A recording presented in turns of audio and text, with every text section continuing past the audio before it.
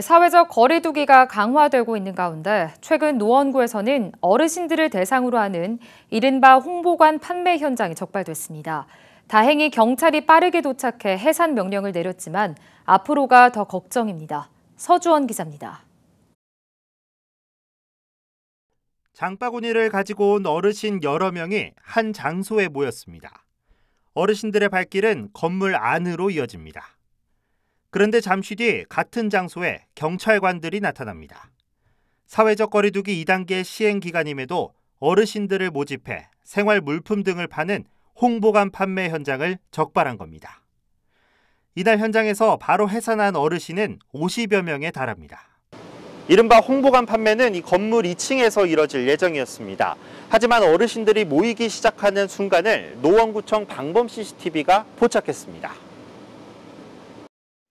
특정한 나이대에 특히 이제 가방을 들고 캐리어를 들고서는 이제 들어가는 모습을 보고 관제위원이 이제 집중 모니터링을 한 거죠. 방문 판매 이제 장소였다는 것이 이제 확인됐으니까 경찰이 바로 어, 해산 명령을 한 거죠. 적발된 홍보관을 직접 찾아가 봤습니다. 여전히 문은 열려 있었습니다.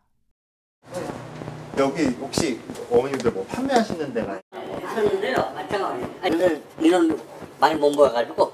할 수가 없어요. 지금 준비해놓고 다가 네. 저번에 했다가 그, 그 경찰 들어가지고 내부에는 어르신들도 여럿 있었지만 관계자는 현재 판매 활동을 멈춘 상태라고 밝혔습니다. 하지만 곧 사회적 거리두기 지침이 완화되면 다시 영업을 재개하겠다는 의지를 보였습니다. 네, 매달 가면서 돈 받아야 그리고 이제 지금 해 준비해놓고 이제 지갑 이제 풀면은 네. 그때 하려고 기다리고 지난 6월 코로나19 확산 방지를 위해 서울시가 확인한 홍보관은 600여 곳에 달합니다. 해당 장소들은 사람이 많이 모이는 곳이지만 특징상 간판이 없어 외부에서 알아보기 힘듭니다.